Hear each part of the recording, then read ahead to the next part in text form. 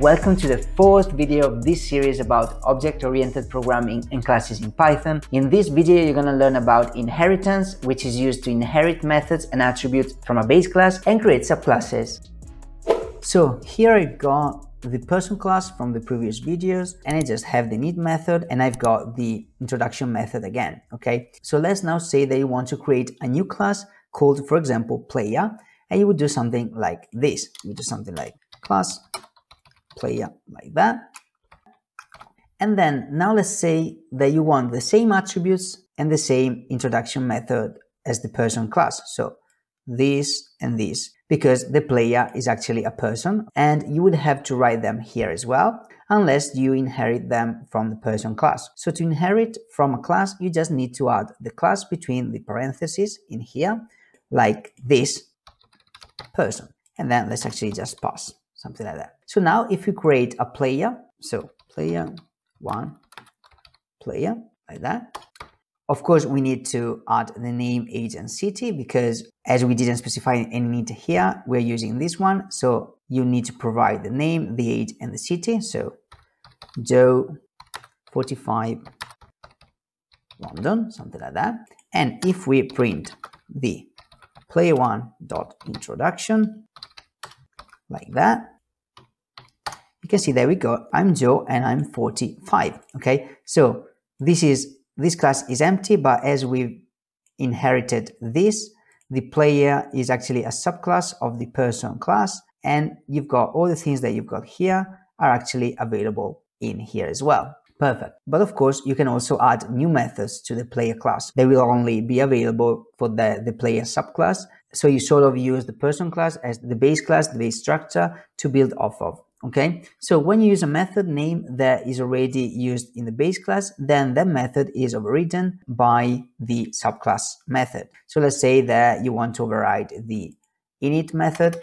We can just do something like def init, okay, and then self name age city like that. Then, so here we are inside the player class. Then we print something like this just to recognize it. So player init and then the same exact thing here like this like that. Perfect. So now if we let's actually delete this. If we create a new instance you'll see that we get player init because actually when you create a new instance init is called so this print is called. And you can see that you're actually using this one now. So if you've got this here and here the subclasses one is used basically but if you just want to add something and still use the init method of the base class, okay, you need to use super. Let's see how. So instead of having to do something like this, you can do something like, let's actually delete that. Perfect. So let's add, for example, level here. Then I'm gonna call the person classes init method. How? By using super. So super init like that. And then of course I need to provide name, age, and city because you've got name, age, and city here. Okay, so you need to provide them. And you're actually doing this here. And then we need to add the level instance variable. So we need to do something like, uh, like that. And so instead of overriding the init method altogether and having to write everything from scratch, I still call the base init here.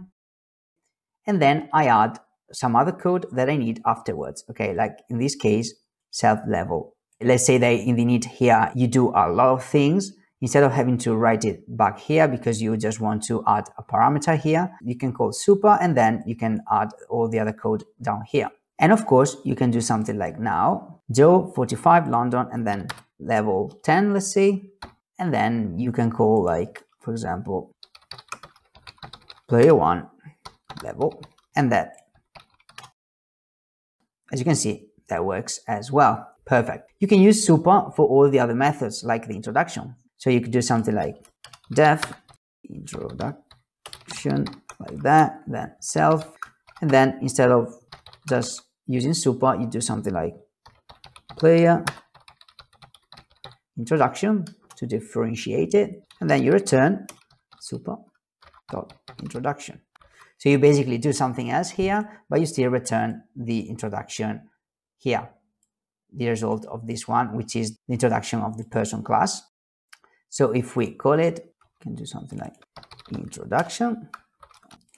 If you call it, you get player introduction because you're using this one. And then you call this super, I'm Joe and I'm 45 because you're calling this one, okay, using super. So basically super is a way of calling and using the attributes, the methods, etc. of the base class, of the parent class.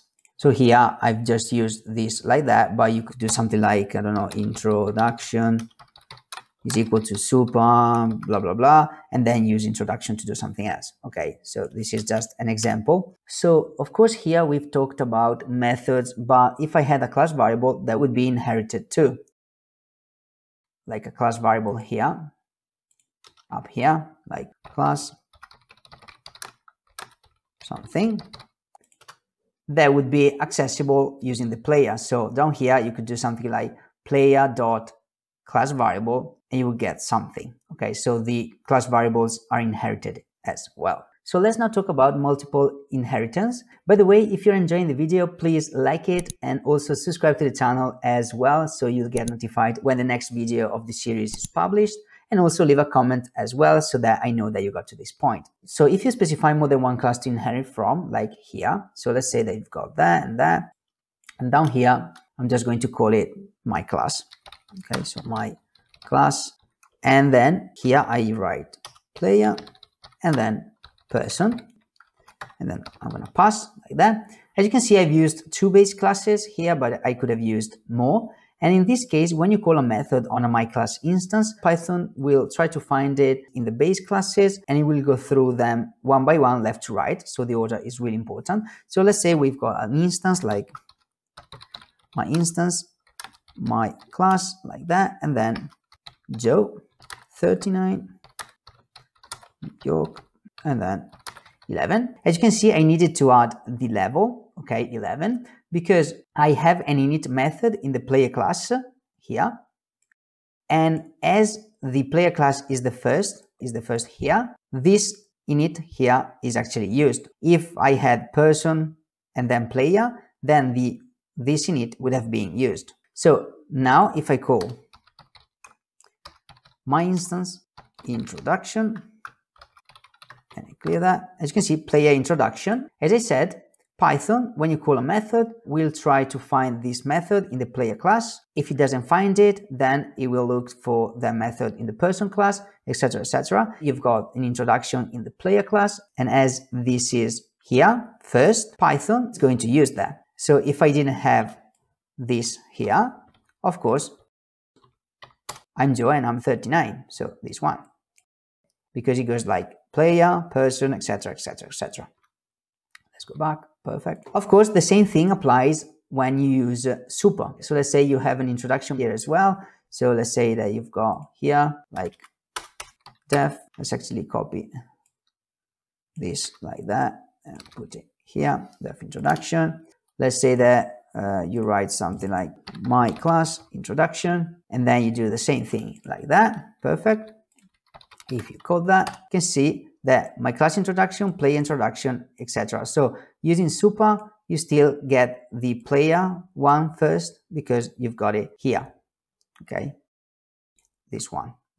Okay, so in the next video, we are going to talk about private variables and also name mangling. So if the video is already out, you should see it on the screen along with the playlist containing all the videos of this series. And don't forget to like this one if you enjoyed it and also subscribe to the channel for more videos like this and I'll see you soon. Bye.